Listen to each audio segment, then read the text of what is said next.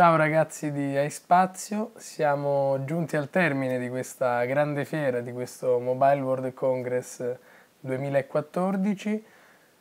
Allora, questo video mh, mm, serve diciamo per fare un sunto di quello che abbiamo potuto vedere dall'edizione di quest'anno. Vogliamo condividere con voi le ultime novità e per chi non ha potuto seguire tutta la fiera, minuto per minuto, diciamo ora per ora con il nostro live, questo video serve proprio a mh, mm, riassumere per sommi capi tutto ciò che di importante è accaduto. Sono stati presentati nuovi device, in primis chiaramente ne avrete sentito parlare sicuramente, è, eh, Samsung è stata protagonista con il suo Samsung Galaxy S5 Oltre a questo dispositivo è stato presentato anche il Gear 2 ed il Gear Fit. Questi dispositivi mh, mm, li abbiamo visti chiaramente subito dopo l'uscita. Potete vedere cliccando sul link in sovraimpressione il nostro hands-on eh, che è avvenuto in fiera. Poi Un'altra società che ha presentato la sua nuova line-up per il 2014 è stata Sony con l'Xperia Z2, lo Z2 Tablet e lo smartware da polso, quindi anche qui abbiamo oggetti indossabili che vanno molto di moda, insomma diciamo. Il trend per dispositivi elettronici indossabili ormai sta prendendo piede chi altri di importante? Abbiamo Huawei che ha presentato ben quattro dispositivi e anche la società cinese ha mh, annunciato la disponibilità di, un, eh, di, una sua banda da polso, quindi indossabile con la particolarità che fa anche da auricolare. Abbiamo ZTE con eh, qualche piccola novità e abbiamo visto anche società magari non proprio conosciutissime come Iota ehm, che hanno presentato i loro nuovi devices. Anche Jolla con Selfish OS, ovvero un nuovo sistema operativo, diciamo una nuova interfaccia grafica ed un nuovo telefono ovviamente. E allora andiamo con ordine. Queste sono le nostre impressioni sulla fiera. Samsung Galaxy S5 potrebbe essere mh, per alcuni forse una delusione perché perché si, diceva, eh, si dicevano cose che poi non si sono realizzate. Quello che pensiamo noi invece è che semplicemente ci sia stata un, un progresso naturale del, dello sviluppo del dispositivo. Nien, nessuna novità particolare, a parte il sensore di battito cardiaco che potete vedere nella recensione, diciamo nella video anteprima, il lettore di impronte digitali che era stato preannunciato. Dal punto di vista estetico nessuno stravolgimento particolare, solamente la cover posteriore che è stata diciamo migliorata, migliorata parecchio rispetto ai suoi pre- predecessori perché se, avere, se, avete la possibilità di, di sentirla dal vivo scoprirete che il feeling tattile è di molto migliorato e anche l'eventuale resistenza ai graffi noi pensiamo però mh, mm, niente diciamo di assolutamente nuovo, registrazione di video in 4K, certamente effetti speciali per la fotocamera particolari. La cosa nuova, mh, mm, diciamo quasi totalmente nuova, è il Samsung Gear Fit invece. Una piccola banda, un piccolo braccialetto da mettere al polso con display curvo Super AMOLED, molto molto carino, anche quello ha il sensore di battito cardiaco integrato quindi diciamo, vi può seguire costantemente in tutte le attività fisiche, anche l'accelerometro e il giroscopio per vedere come dormite, quanto correte, contapassi, quindi podometro e queste cosette qui. Quello è un dispositivo davvero molto carino, a noi è piaciuto tantissimo, il display sembra essere visibilissimo anche sotto la luce del sole. C'è una cosa che speriamo arrivi con i nuovi aggiornamenti del firmware, ovvero il fatto che quando alzate il polso mh, l'ora venga visualizzata in orizzontale, altrimenti è un po' difficile poter vedere l'ora perché dovete fare o così o così, ma tanto sono delle piccole cosette che possono essere risolte facilmente da Samsung attraverso un aggiornamento software eh, posteriore a questa data, insomma.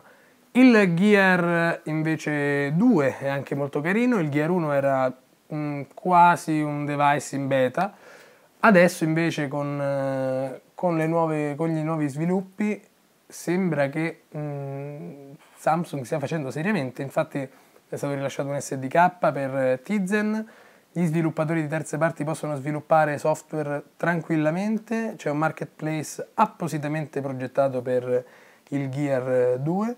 Abbiamo visto già che al lancio esistono parecchie applicazioni, erano preinstallate nelle demo messe a disposizione da Samsung.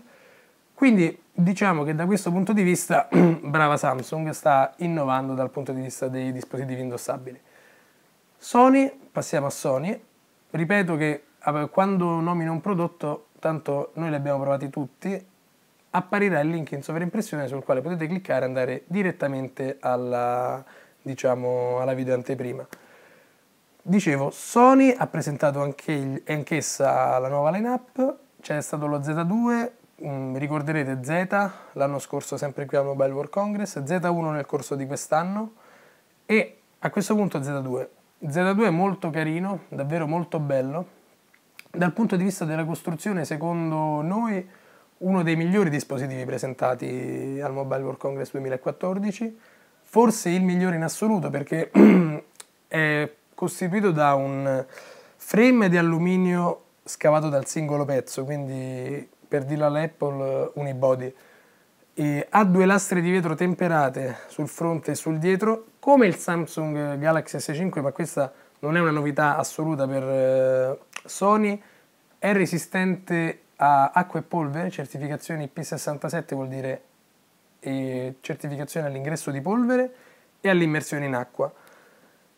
Quindi proprio immersione, ovvero 30 minuti fino a un metro, non, non si tratta solo di schizzetti e cose così, potete proprio farci le foto sott'acqua, portarvelo al mare se ne avete il coraggio, noi ve lo sconsigliamo, anche Samsung diciamo lo sconsigliava, quindi però sappiate che resistono all'acqua, insomma, sono stati certificati. Registrazione di video in 4K, display bellissimo, Full HD. E, ehm, che altro dire poi? C'è il suo cugino, il cugino, diciamo la sua estensione tablet, anche quella davvero carinissima. Il tablet anche resiste all'acqua e alla polvere, una cosa assolutamente bella. È molto fino, ha la cover non in materiale diciamo vetroso come, come lo Z2 ma di plastica ma pensiamo che sia una scelta diciamo abbastanza azzeccata perché se vedete la grandezza del tablet capite che fare una lastra di vetro così grande in primo luogo avrebbe minacciato la resistenza del tablet stesso e secondo poi avrebbe sia appesantito il tablet, che pesa pochissimo per, eh, per, tutte le cose che ha e per quanto è resistente diciamo, a, alle intemperie, e che poi è veramente fino. Sony ha presentato anche la sua Smart Band, mm, Smartwear anzi scusate, è costituita da una Smart Band e un core, quindi potete togliere il piccolo core che è un piccolo apparecchietto così, anche quello resistente agli schizzi, all'acqua insomma, e potete cambiarvi la bandina con quella che più preferite, un sacco di produttori già di, di accessori d'abbigliamento avevano già presentato dei, delle, dei braccialetti compatibili proprio con questa smartware. Le funzionalità chiaramente non avendo il display ma solamente qualche piccolo LED sono un po' più limitati rispetto alla controparte Samsung, ad esempio possiamo farci fare, possiamo usarla come telecomando per la macchinetta fotografica, segue le nostre attività, quindi monitor del sonno, monitor delle attività podometro e queste cose qui. Parliamo di Huawei, Huawei ha presentato un tablet davvero carino, ovvero l'X1, è un tablet economico, oddio, economico. Comunque sì, economico, diciamo, Huawei, come saprete, non è che abbia dei prezzi poi esageratamente alti, però c'è da dire che da quello che abbiamo visto sembra essere un tablet ben fatto. Abbiamo qualche dubbio sul design, non assolutamente originale, era un po' una via di mezzo tra fronte e retro, tra HTC One e, e, e Apple iPhone 5. Poi, cos'altro vi diciamo? Vi diciamo che sempre Huawei, la società cinese, ha presentato una bandina, un braccialetto, scusate per la traduzione imprecisa dall'inglese, tra band e braccialetto, il B1. Il B1 è molto carino perché è particolare, cosa può fare? È in realtà un auricolare Bluetooth, auricolare Bluetooth che si inserisce in un braccialetto da polso e si monitora i nostri spostamenti, quindi podometro, monitor del sonno e via discorrendo.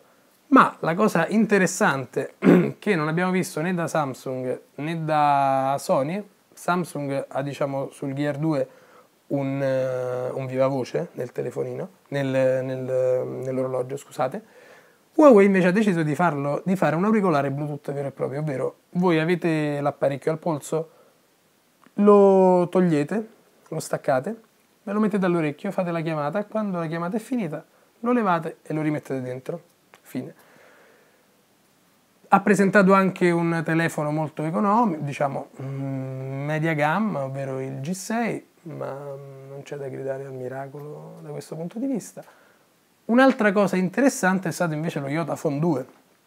Questo è stato davvero mh, mm, forse la cosa più sorprendente che abbiamo visto. Ovvero cos'è? È un telefono che sul fronte è normalissimo, cioè uno schermo, tasti capacitivi e Android 4.4, forma arrotondata, carino, anche un po' anonima diciamo. Sul retro invece ha, un ha uno schermo ad inchiostro elettronico, ovvero come l'Amazon Kindle, proprio esattamente di quel tipo. In più, non contenti, i russi della IOTA hanno deciso di integrare sul retro del, del, dispositivo, oltre a questo schermo, anche un touch capacitivo, ovvero è possibile controllare anche con il telefono spento, scusate, in stand-by, quindi bloccato, il, eh, quello che viene visualizzato sullo schermo dietro con le proprie dita, cioè invece di usare il telefono dalla parte fronte, giriamo il telefono e cosa possiamo fare? Possiamo vedere in un attimo l'agenda Chiaramente i tempi di refresh dello schermo non sono quelli di uno schermo LCD normale, ma sono quelli di uno schermo ad inchiostro elettronico, quindi non è che ci possiamo vedere un video. Però ad esempio possiamo leggere un libro. Iota dichiara un'autonomia, scusate, intorno alle 50 ore per la sola lettura con la parte Android in stand-by. Possiamo vedere gli appuntamenti del giorno, del mese, della settimana Possiamo anche addirittura usarlo come lettore di notizie, diciamo, tutto dipende dall'applicazione di IOTA che poi subirà degli aggiornamenti successivi che integreranno mano a mano sempre nuove funzioni che fa parlare la parte Android, cioè diciamo che fa parlare Android, quindi il telefono in sé con il retro del dispositivo.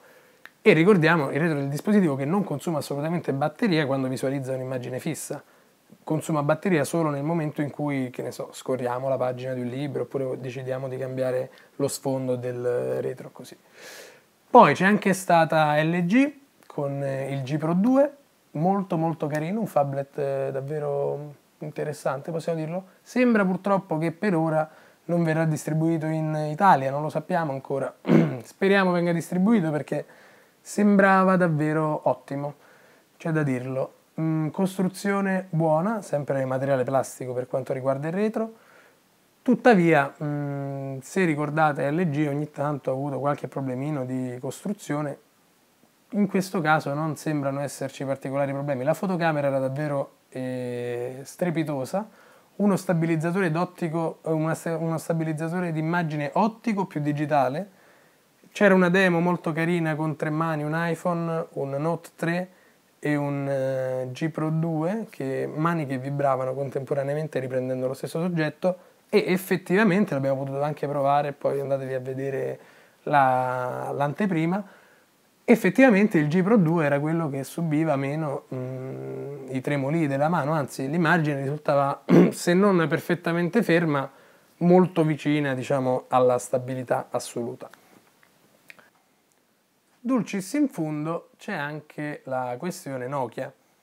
Nokia con una, diciamo, con una conferenza stampa, ecco, interna al Mobile World Congress stesso, ha confermato i rumor che si andavano rincorrendo negli ultimi mesi, ovvero la presentazione del primo telefono prodotto e distribuito dalla casa finlandese che fosse equipaggiato da Android di Google. E si è realizzato, i rumor sono stati verificati, ovvero Nokia ha presentato la serie X, X, X e XL, prezzi 89 euro, 99 euro, 109 euro. Cosa cambia? X e X sono più o meno uguali, cambia la RAM e il fatto che all'interno dell'X ci sia una scheda micro SD da 4 GB. XL invece ha lo schermo più grande, 5 pollici, è un po' più performante perché ha la stessa RAM dell'X diciamo, ma la particolarità di questi dispositivi, oltre diciamo al prezzo, perché 89, 99 e 109 sono prezzi veramente d'attacco, è che per la prima volta Nokia ha prodotto un telefono con Android, non esattamente Android al, al quale siamo abituati, quindi Play Store e tutte queste cose qui, ma Android mh, mm, diverso, ovvero Nokia ha preso la base del codice di Android, la, la, base open source, quindi senza alcun servizio di Google, che come qualcuno di voi saprà invece è a fonte chiusa, l'ha personalizzato, ovvero ha mh, mm, creato un, uno strato di interfaccia che richiama molto poco Android, anzi è molto più vicino a Windows Phone perché ci sono tutte le piastrelle, insomma se vedete la recensione vi rendete subito conto, notate subito subito la somiglianza tra questa versione di Android made in Finlandia e invece Windows Phone. E oltre a fare questo, però, non è stata stupida, ovvero ha detto sì, prendiamo Android, ci mettiamo la nostra interfaccia, però che cosa facciamo? Diamo la possibilità agli utenti di utilizzare tutto il parco applicazioni di Android, non tramite il Google Play Store, tramite il Nokia Store, che però può essere, diciamo, espanso, tra virgolette, scaricando altri market alternativi. Ad esempio, chi utilizza dispositivi Android conoscerà sicuramente Aptoide. Ecco, ha detto Steven Elop che mh, la compatibilità con le applicazioni Android è praticamente quasi immediata, servono delle piccolissime modifiche non meglio specificate, che sicuramente saranno specificate più avanti, che possono essere fatte tranquillamente con l'SDK messo appositamente a disposizione da Nokia stessa. E quindi virtualmente abbiamo che con un Nokia X eh, da 89 euro prodotto da Nokia, appunto, un utente può senza alcun problema utilizzare tutte le applicazioni del mondo Android senza che gli sviluppatori debbano riscriverle per, diciamo, non so, Windows Phone ad esempio. E sappiamo il divario che c'è tra il parco applicazioni di Android e il parco applicazioni invece di Windows Phone. Diciamo, c'è una bella forbice che, che separa i due numeri. Quindi anche Nokia, diciamo, è stata, anche se non dal punto di vista top di gamma con annunci esaltanti o esuberanti come, come Samsung eh, oppure simili, ad esempio Sony, però comunque il suo l'ha fatto, è stato presentato anche un Asha, veramente un Asha e il Nokia 202, anche l'Asha 203 e il Nokia 202, scusate, 220 230, sì, scusate, e, ehm, a prezzi veramente bassissimi e la cosa carina e interessante è che con quei prezzi bassissimi, prezzi che veramente di solito sono associati a feature phone, ovvero telefoni che sostanzialmente chiamano, hanno la radio e poco altro, invece con quei telefoni diciamo no, che si, si è prefissa l'obiettivo di portare internet a milioni di persone, infatti possono navigare su internet eh, tranquillamente. E niente, queste qui sono le novità che ci sono state durante questo Mobile World Congress 2014, noi l'abbiamo seguito, noi di Spazio qui da Barcellona in diretta. Potete andare a rivedere tutti i video sul nostro canale di YouTube, anche sul nostro sito www.aispazio.net è disponibile eh, diciamo, la cronistoria all'indietro di tutto quello che abbiamo fatto, di tutto quello che abbiamo visto, ci sono tutti gli articoli che accompagnano anche i video per tutti i nuovi prodotti che sono stati presentati. Ci vediamo noi al Mobile World Congress 2015 che si terrà dal 2 al 5 marzo dell'anno prossimo, del 2015 eh, ovviamente. Speriamo ci vediamo anche prima, chiaramente, durante, nel, durante il corso di quest'anno con altri video. Vi salutiamo, ciao ragazzi!